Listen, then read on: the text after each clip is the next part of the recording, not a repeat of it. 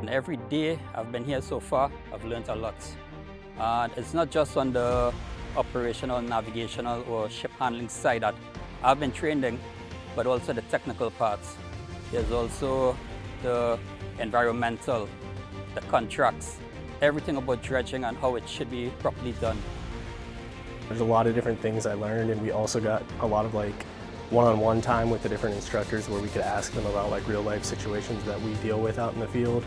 Um, so we did get a lot of advice there, different things we can take back and talk with our crew about um, and just see how we can improve things out in the field. We definitely learned a lot, even coming from a dredging background. Um, yeah, it was, it was, a great, great experience.